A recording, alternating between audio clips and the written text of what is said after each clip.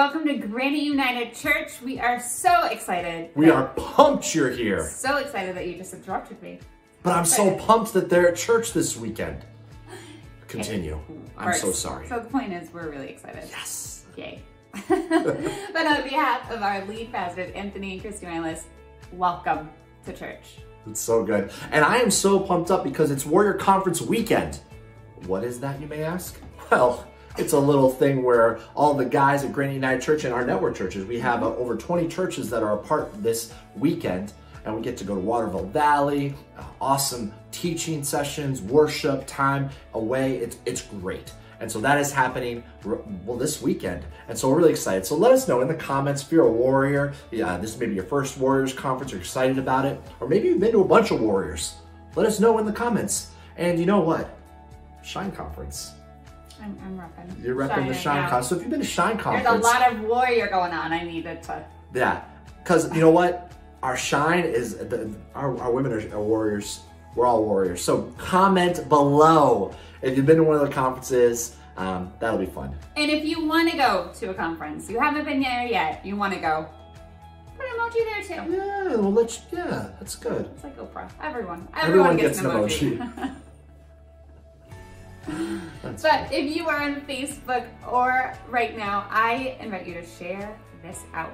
Um, we are in a series called My Story, and you never know what an Mm. impact your story has on other people. And that's partly what you post on Facebook. You never know who's watching, who's listening, who needs to know the hope of Jesus, and who is getting that from just the things that you post.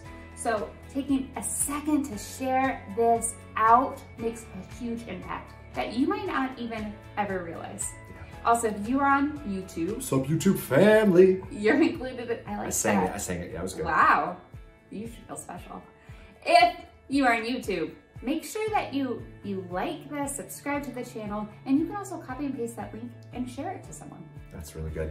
And we also have an opportunity every time we get together as a church to participate in giving. Now, we think that giving is more than just a transaction, but it's actually an act of worship where we give to the Lord out of what He has given to us. We're blessed to be a Blessing. blessing. You write that in the comments. We're blessed to be a blessing. And so we are a blessing. Over the past month, we've, um, as a church, we've made a, a point of blessing our firefighters and our first responders, our police officers and our communities. And, and, and this is a part of it. Is, as we give, we're blessed to be a blessing to our communities and to our communities around the world, to our missionaries and our church plants and feeding centers.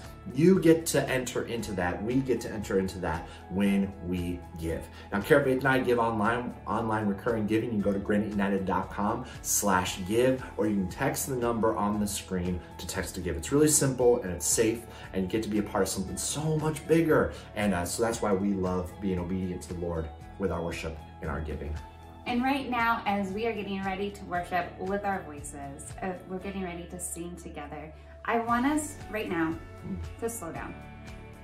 This is a time where we are giving something to our Heavenly Father. Right. You know, a lot of times during a message, we're receiving, we're receiving, and right now it's time to give. So lock into the words. Um, it doesn't matter how you sound. It doesn't matter if you are in a crowded room or if you are by yourself. This is a time to slow down. Tell the Lord, tell God how much He means to you, and really focus on Him.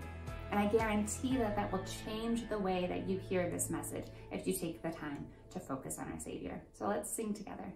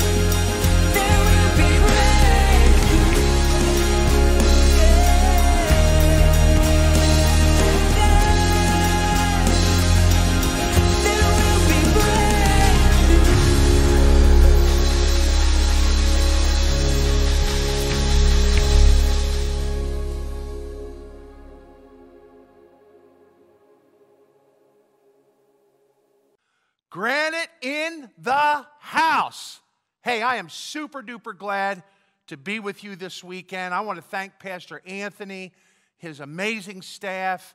I just th- this is kind of a second home for me. If I if you were to ask me if I had a vacation home, I live in Plano, Texas, but I guess I should probably get a condo someday in Salem, New Hampshire because I consider this my home away from home church. We sure do love you, Granite, and I probably feel a little bit of fiduciary responsibility to throw up the hype level to the next level, to the not to copy your pastor, but I feel responsible to do that since this is Warriors weekend. So I want to thank you for having me here. Honored, blessed. I just, you, you guys, if you've been a part of Granite for any amount of time, you know how much my wife and myself love, love, love Pastor Anthony and Christy. We thank you for sharing them with us. He's my pastor too. And I call that guy probably four to five times a week when he answers his phone. I try a lot of times when I try to call him, he's already doing a Facebook Live. So it's really hard to find the perfect time to do that sometimes. But I sure do love him. We love Miss Christie. We just thank you for your investment in our lives, in our church, and for the partnership that we have. And we're just honored and blessed to be able to be with you here at Granite United this weekend. So I want to share with you some thoughts today that uh, some things the Lord's put on my heart to share with you as I'm going to be with Granite all weekend long, and I'm so blessed to be here with you right now. I want to talk to you about being an influencer, and I called this message today, Not a Lot of Influence.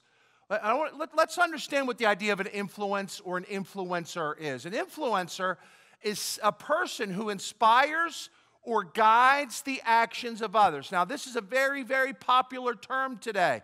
Anybody that's half my age or younger, okay, understands what the term influencer means by your number of followers that you have on Instagram or old school Facebook or, or TikTok, tickety tock, TikTok, tickety tock, or whatever it is that you follow or that you're a part of, you hear that term influencer a lot. I was reading something this week. Here are the top 10 influencers on Instagram. Check this out. From 2014, I didn't even know Instagram existed in 2014. But from 2014 to 2020, here are the top influencers on Instagram. Number one, Selena Gomez. I don't know. Selena Gomez. Cristiano, Cristiano Ronaldo, who's a very famous soccer player. Uh, you have Ariana Grande. You have Beyonce, right? You have Beyonce, Kim, Kim Kardashian, Taylor Swift, Kylie Jenner. Can you smell what The Rock, Dwayne Johnson, is cooking? He's on there. Justin Bieber, and of course, the last name that rounds out this list of top influencers on Instagram from 2014 through 2020 is no other than your pastor, Anthony Milas. Let's give him a big hand today, okay? Pastor Anthony Milas, top 10 influencer on Instagram. So I told you my talk today is called Not a Lot of Influence. That's kind of a play on words because I want to talk to you about a guy in the Old Testament whose name was Lot. In Genesis chapter 18, God came down and was talking to Lot's uncle, Abraham, and said to Abraham, I'm going to destroy this whole region of Sodom and Gomorrah. It's two big cities. There's a lot of evil there. You need to know it. Your nephew there, his wife, their kids, their homies, they're all part of those two cities of Sodom and Gomorrah. You see, when Abraham and Lot, their families were getting larger and larger and larger, and their possessions, because God was blessing them, they decided because there was a lot of squabbling with their servants and stuff to kind of go, one side of the region and to the other side. Lot chose this area that was had these two cities in there called Sodom and Gomorrah. Sodom and Gomorrah, by reputation, were very, very evil cities. A lot of just uh, absurd, crazy sexual behavior. Uh, we'll read about some of that in this passage here. So God tells Abraham this, probably so that Abraham would go get Lot and get him out of the city. But Abraham's response to God was this God, if there were 50 righteous people in that city, I know my nephew and his wife and his kids are there, but maybe they've had enough influence to where 46 other people came and had a relationship with God and they were making sacrifices and they were meeting maybe in a life group of some kind and they had enough influence to maybe everybody on their block and in their community had a relationship with God. If 50 righteous people were found in that city, would you still destroy the city? And God said no. And then, and then Abraham said it again God, I don't want to test you. I don't want to be disrespectful to you, but man, 40 is kind of a close number to 50. Would you destroy the city if 40 righteous people were found? God said no. And then he said 30. And then he said 20. And then he asked blatantly, I mean, can you imagine this? For 10 righteous people. 10 righteous people means you have Lot and his wife, his two daughters, maybe guys they were dating would make it to six. And if they just had two other couples, four people that they had any kind of spiritual influence on whatsoever, then those 10 righteous people would redeem those entire cities and God would not destroy them. So let's look at what happens in Genesis chapter 19. I'm going to read for you kind of a big hunk of scripture here, so follow along with me. The words will be on the screen. Genesis uh, chapter 19, verses 1 through 17. And I'm going to be reading from the New King James Version today. The Bible says this Two angels came to Sodom in the evening, and Lot was sitting in the gate of Sodom. When Lot saw them, he rose to meet them, and he bowed himself with his face toward the ground. And he said, Hear now, my lords, please turn into your servant's house and spend the night. Uh, wash your feet, then you may rise early and go your way. And they said, No, we're going to spend the night here in the open square. But he insisted strongly, so they turned in with him and entered his house. Then he made him a feast, baked them some unleavened bread, and they ate. Now, before they laid down, the men of the city, the men of Sodom, both old and young, all of the people from every quarter surrounded the house, and they called to Lot and they said to him, Where are the men who came tonight? Bring them out so that we may know them physically or carnally men came to their house and they wanted the guest men in Lot's house to come out so that they could have a big sexual orgy together. That's what the Bible tells us here. This is like, like watching uh, something on HBO today happening right here, right in, in, in the book of Genesis. So Lot went out and told them through the doorway, Shut down the door behind them. Please, brothers, do not do this wicked thing. See now, I have two daughters who have not known a man. Now, listen to what Lot says here. Let me bring them out to you, and you may do as you wish. Only do nothing to these men, since this is the reason they have come under attack uh, under the shadow of my roof. And this tells you two things about Lot. He feared God, and he didn't love his daughters the way that he should have. And just, I mean, it's incomprehensible that this statement's even made. And it's even offensive a little bit to read this passage of scripture but this is such a great story, and I want you to get the big meaning of this. What God, this is not about God destroying Sodom and Gomorrah. Just follow along with me. He said, So Lot sent them through the doorway, shut the door. He said, Please, guys, don't do this. I'll send you my daughters. Verse number nine, he says, and they and they said, Stand back. And when they said this, this one came in to stay here, and he keeps acting as a judge. Now, we will deal with worse than you than we will with them. So these guys pressed hard against Lot's door, nearly to the point where it broke the door down.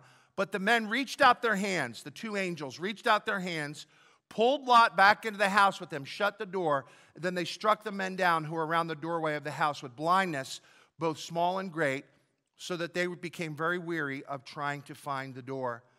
Then these men said to Lot, Have you anybody else here? Sons in laws, your sons, daughters? Whoever you have, let's take them out of this place, for we're going to destroy this place because the outcry against them has grown so great before the face of our Lord, and the Lord has sent us to destroy it. So Lot went out, spoke to his sons in law. So you had six now Lot, his wife, his two daughters, two son in laws, six people. Lot went out, spoke to his sons in laws who had married his daughters, and said, Get up, get out of this place for the Lord will destroy the city. But his son in laws thought he was joking. When the morning dawned, the angels urged Lot to hurry, saying, Get up, take your wife and your two daughters, and whoever else you have with you, lest they be consumed by the punishment of this city. And while he lingered, the men took hold of his hand, his wife's hand, and the hands of his two daughters. And the Lord, being merciful to him, they brought him out and sent him outside of the city. So it came to pass when they brought them outside that he said, Escape for your life. Don't look behind you. Stay anywhere in the plain. Escape to the mountains unless you be destroyed. And what happened was the angels took them out of the city. These guys, the angels dressed in men's attire, took them out of the city. They said, Don't even look back. And, and when God started to rain fire down from heaven on Sodom and Gomorrah, Lot's wife looked back, looking back in a way of, of, of regret, of sorrow, of, of, of being sad because she loved living in that city so much that God turned Lot's wife into a pillar of salt. Tragic, tragic story. Abraham negotiated with God, believing that Lot had influence.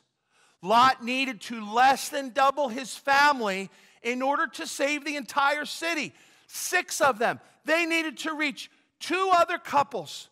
Maybe these two sons in laws had a mom or dad. I mean, they could have had 10 people just in the inner circle of their family that they had influence with, and it would have saved the entire city.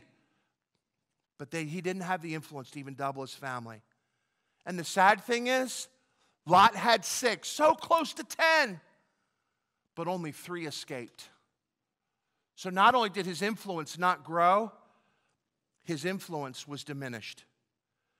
Lot did not influence because his family was influenced by the lifestyle of the people that lived in Sodom and Gomorrah. So here are some things today I want you to understand. Granite, this is the truth about your, about your life and about your church. I want you to understand this. Some things to understand about influence. You have, every single one of you, if you're sitting next to somebody, I want you to tell them this. You have influence. Just say that to them right now. You have influence. Everybody in this room, everybody watching online, everybody that's going to be at Warriors this weekend, everybody in this church, connected to this church, has influence at some level, whether it's your family, your work, at home, online, on Facebook community. Oh, we'll talk about that in a minute. But you have influence. And here's the thing about your influence there is someone who believes that you can make a difference with your influence. Jude in verse t- number 22, there's no chapters, it's a short letter.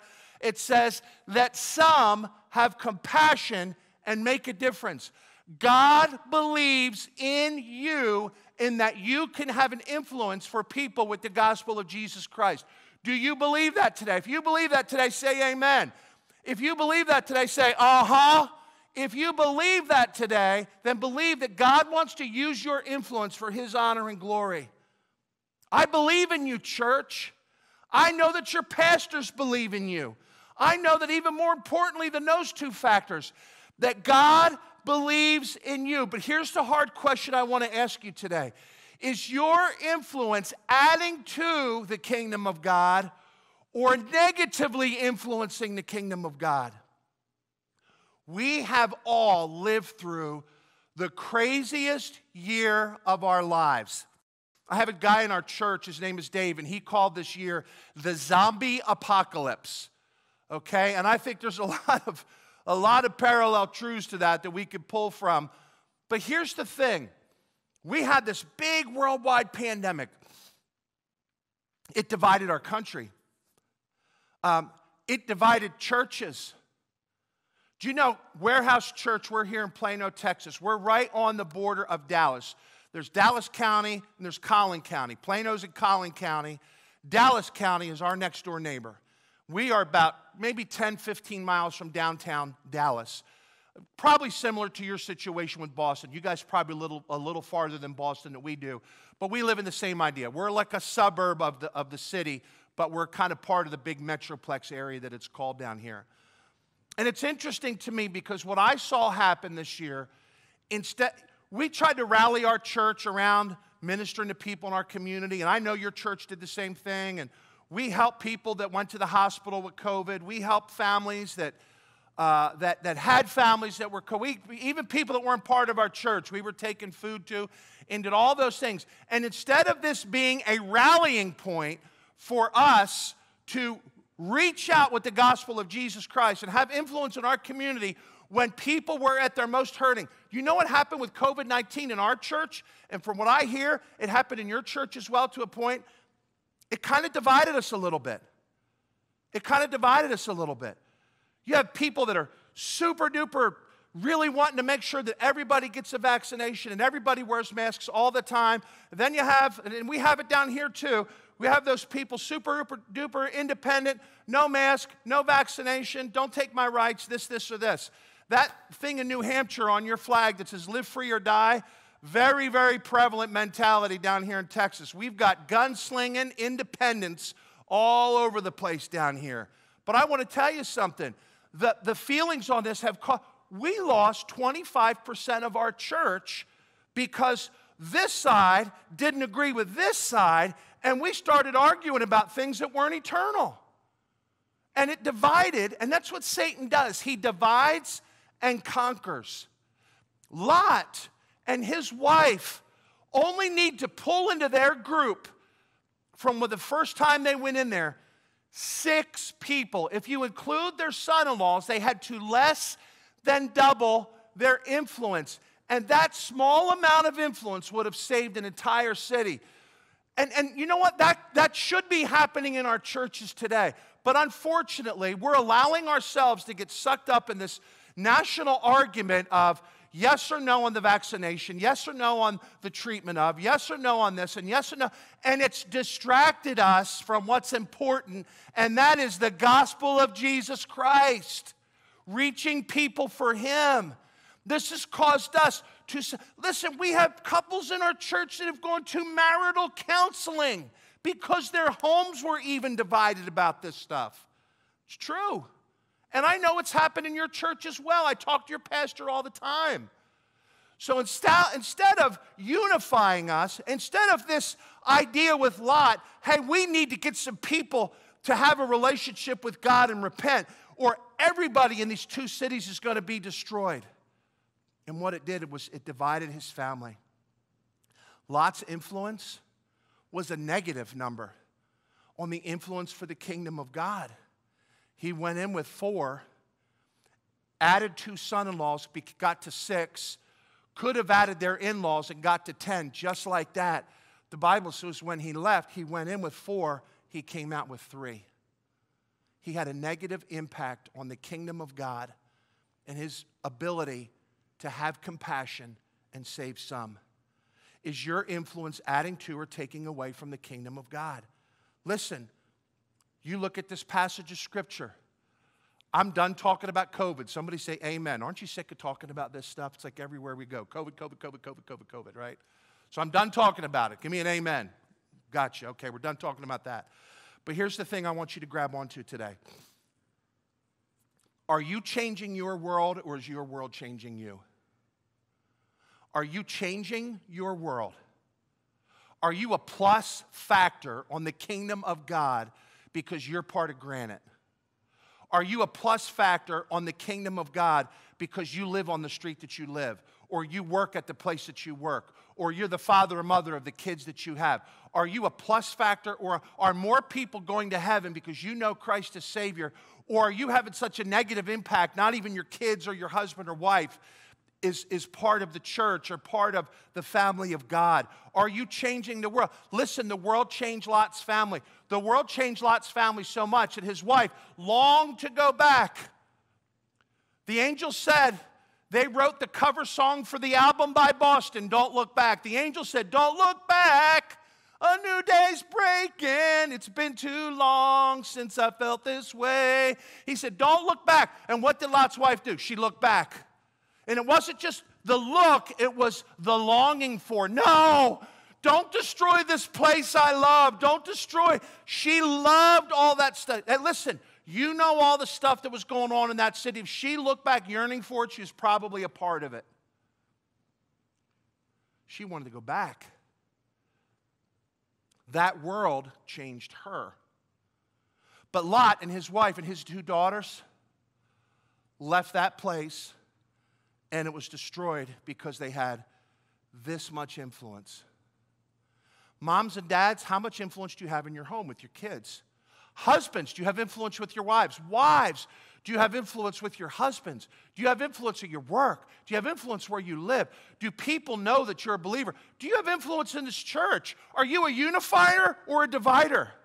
When you see somebody with or without the mask or with or without that, are you a, oh no, I can't believe it. I don't like you anymore. Or are you a person that's trying to unify the body of God to make a kingdom impact right here in New England? It's what God's called you to do. Is your influence adding to or taking away from kingdom work? Is your influence changing the world or is it changing you? And I'm going to ask you this last question today. Let's say that you're a family of five people, and God came down and said to you, We're going to destroy this whole area unless there's 10 righteous people here. You see, if Lot and his family would have been sincere in their relationship with God, and just one at a time. You know, we get this idea. Listen, I, I, I, love your church. I love what you guys are doing in New England. I hear Pastor Anthony talk about the, the, the, the burden and conviction on his heart that God's placed on him, that, that you guys have a plan and are actively pursuing reaching New England for the gospel of Jesus Christ. If you agree with that, say amen, right? You guys agree with that. You know that that's true. But here's the thing we're not all going to reach everybody. But you know what?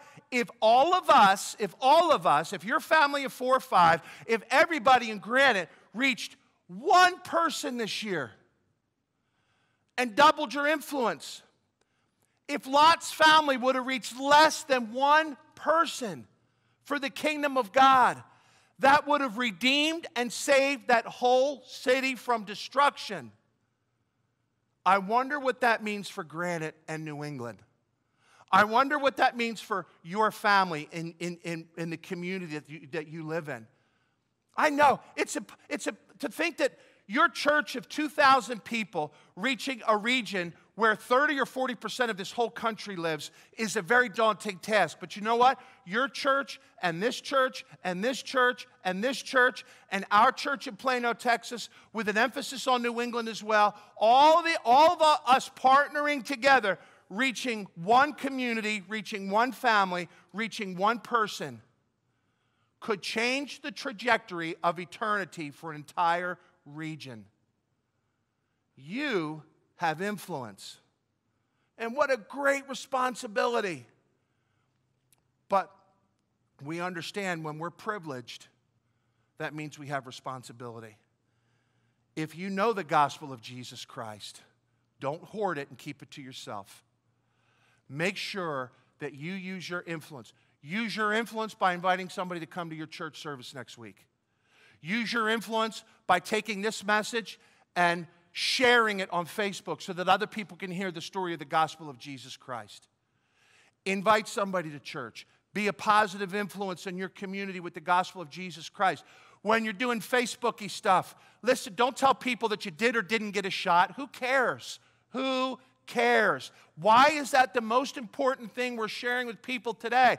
Tell people how important they are. Tell them how much they're loved. Tell them how much Jesus loves them. Tell them how much Granite United loves them. Tell them all the great stuff that happened at the Warriors Conference this weekend. Tell them what God's doing in your life. Share a Bible verse, but don't be na na na boo boo. I got a shot. I'm better than you are. Or I'm not getting a shot. You can't tell me what to do. Let's put that stupid stuff behind us and make the emphasis in our conversation conversation on our social media and in our conversations in the community today the gospel of Jesus Christ. You have influence.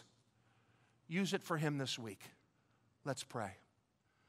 Father, we thank you. We love you. We honor you. We thank you for what you did in the heart of our men during the Warriors Conference this week. We thank you for what you're doing at Granite United today all over New England. Father, bring us back together whole as a family again soon, Lord, so that we can be united in, in, in, in our conviction to reach this whole region with the gospel of Jesus Christ. Lord, what Satan is using to divide us, we, we, we rebuke in the name of Jesus Christ and we ask you, Lord, to put that behind us, that we would look forward and use our influence to reach just one, one person, one family, one community at a time with the gospel of Jesus Christ. We honor you today. And Father, if someone today doesn't know Christ as Savior, we pray that today would be their day of salvation.